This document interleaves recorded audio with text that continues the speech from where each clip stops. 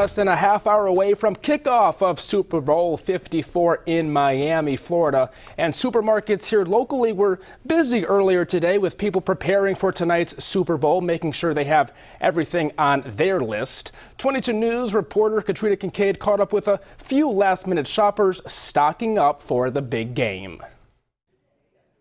Around the U.S., Super Bowl Sunday is one of the biggest party days of the whole year. We're gonna make a huge party. and We're gonna have cupcakes and all that food. It's kind of like Thanksgiving and a lot of food.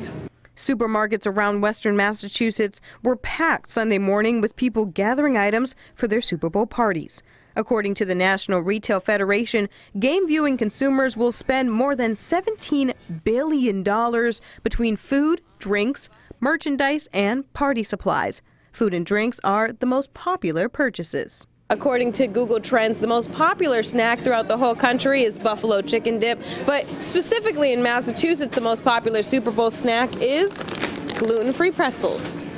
We asked local grocery shoppers what they'll have at their parties. Uh, you definitely have to have wings. Wings is, uh, yeah, I think pretty much every guy will tell you that. But uh, yeah, just, I don't know, different appetizers, mix it up a little bit for everybody. Super Bowl viewership has gone down in the last three years, with only a little more than 98 million viewers watching last year.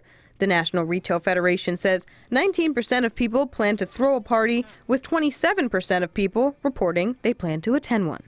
If you're attending or hosting a Super Bowl party, send us your photos to reported at WWLP.com. In Chicopee, Katrina Kincaid, 22 News.